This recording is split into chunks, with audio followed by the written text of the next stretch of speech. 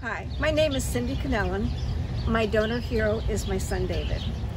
David was born with Cornelia de Lange syndrome, tough, tough, tough syndrome, but he was living his life to the fullest. He loved to mow, he loved to sing with Peter, Paul, and Mary, he loved to play jokes on people.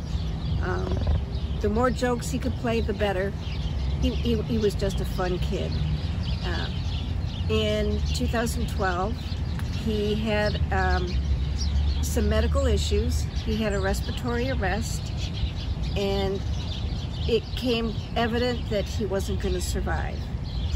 Because of my background as a nurse in a bone marrow transplant unit, I asked if he could be a donor. Um, I didn't know with his syndrome whether or not he could, um, so I asked. And Midwest Transplant uh, Network came out, they talked to me about it, um, and we signed all the papers. And when it came time, David was able to donate um, his lungs, his kidneys, and his corneas.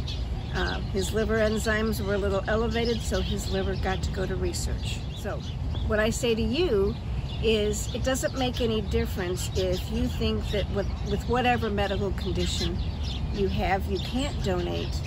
Um, you can still go ahead and sign the back of your driver's license, become a donor, um, and it will be up to science to decide whether or not there are any organs or tissues that can be used.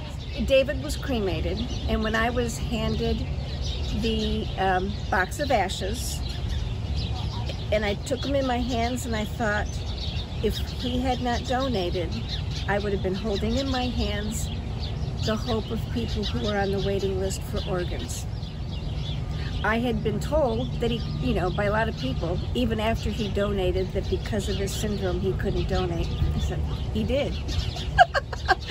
and there are people with lungs and kidneys and corneas that are doing well because of it.